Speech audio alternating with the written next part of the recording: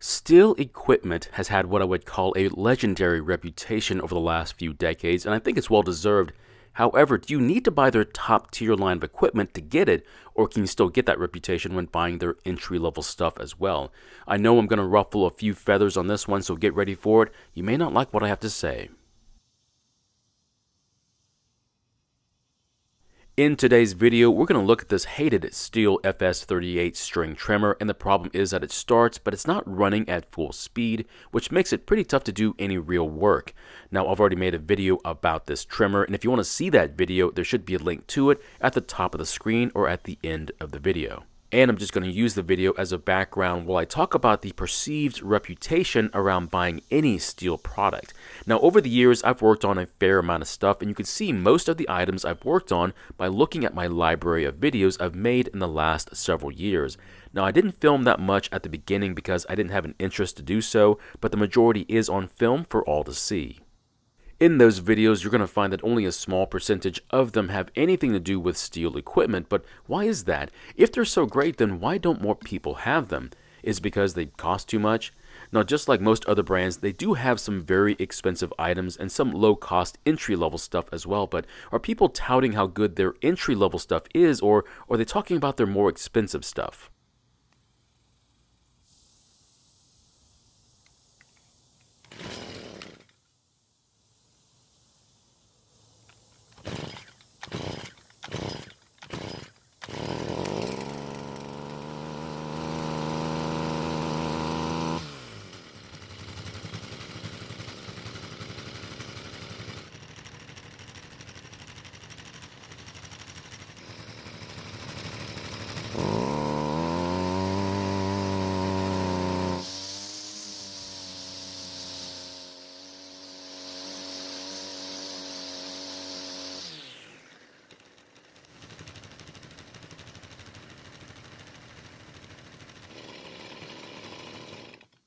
So here's the issue. I've never heard someone say that my cheap Stihl trimmer or their most affordable blower they make outshines most other brands no matter which price point we're talking about. What I typically hear is that their particular model, which happens to be the mid to high end price range, is a lot better and more reliable than any lesser models of a different brand.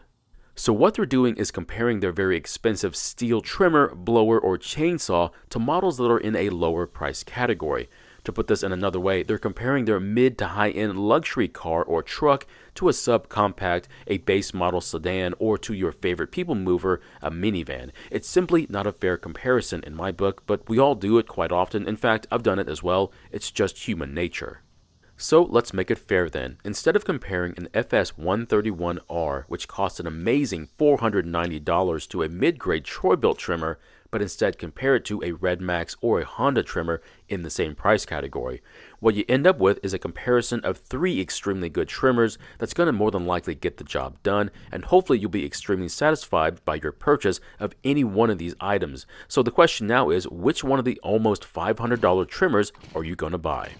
Now, this is where advertising, word of mouth, or even brand loyalty steps in. I'm going to say this if you were to close your eyes and pick at random between the three I mentioned, I don't think you'll make a bad choice. But since choice is one of the only freedoms we get to have in this market, that choice is very important to you. I hate to tell you this, but my choice would be none of them because none of these trimmers are in my price range.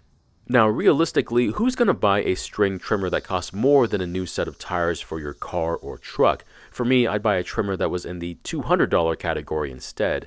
So let's change it and pick some that are in a price range that most sane customers can agree on. Let's choose a sensible Stihl trimmer this time. This time I'm going to pick an FS56RCE at a price of $230. All we need now are two more trimmers to compare to. Now at a different local hardware store, I can choose between an Echo SRM225 or right next to it, I can pick a Troy-Bilt TB304H, which is a four-stroke trimmer. So between the three of them, I'm going to rule out the Troy-Bilt, not because I don't like it, but because it's heavy and it's limited on how you can use it. So of the two left over, which one would I choose? So surprisingly, I would take either one. I think both are great options and you can't go wrong picking between the two of them, but if I was forced to choose one, I'd go with the Echo, only because I think the Echo is easier to use. But if for some reason they were out of stock, I wouldn't mind taking the Stihl either. So do I have an issue with Stihl quality then? Not at all. I think its build quality is just as good as any of the top brands. Just don't ask me what I think about the Troy-Bilt's quality.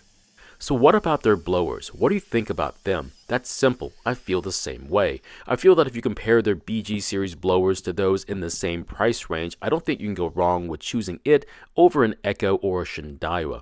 I just think it's unfair when you compare a mid-range BG series to a Poulan blower that's half the price. So here comes the bigger question, their chainsaws. What do I think about them?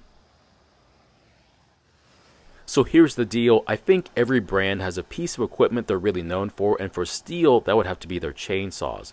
Now, if you thought buying a Husqvarna 455 Rancher for well over $520 was a lot, then you haven't looked into the $2,000 plus price range then. Both Stihl and Husqvarna have some, and to make a choice between either brand would be almost impossible for me because, let's face it, that's a lot of money. So which Stihl chainsaw would I buy? If I had to choose one, I think I'd go with the MS-180, and the reason is because I think it's a good value, and because I know their reputation is built around their saws. So even if I did choose their MS-171, I think I'd be happy with it. And even though I'm a bona fide Echo user, I know Stihl would be a better choice, at least in this category. So it would seem that reputation does work on me to help me make my choices, but then again, I'm not immune to general perception, and the perception is you can't go wrong when picking a Stihl chainsaw. So what's the point of this whole argument then? Well, this is when things get a little bit tense. Remember, I told you there are some brands that are known for specific machines. So what about their other machines then? Well, sometimes things don't go so well. Take for instance this FS38 trimmer. There's a reason why it's the cheapest one they make. To help keep costs down, it's made overseas and not the part of the world you want it to be made in. You then end up with a product that's fairly low in ratings and has mediocre reviews. I guess that's the price you get when making something affordable.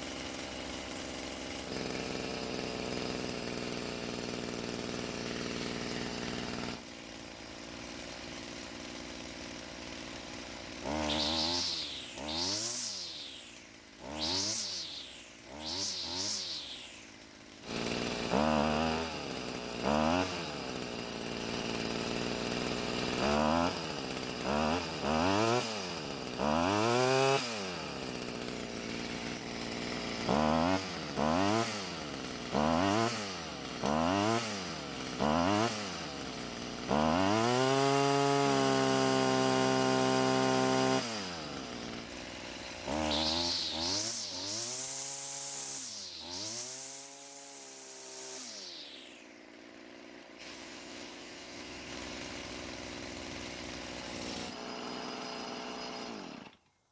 So am I saying that this move to make a Stihl trimmer that everyone can afford was a poor choice? Not at all. I think it was a very wise choice in fact. Yes, the trimmer head has its issues and if you abuse the maintenance on it, it may have some issues, but what happens if you don't skimp on the maintenance and actually take care of it? What's going to happen?